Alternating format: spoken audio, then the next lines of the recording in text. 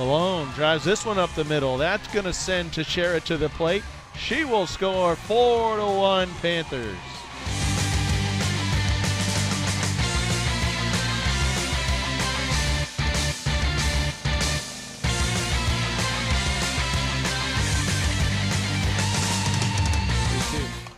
Out to left center. That could be double number 10. It is not. Spallone tracks it down, fires it back in, and saves potentially a run there. Chopper towards second. That's going to get through for a base hit. Island will score. Grossman will score. Two more runs come in, two RBI.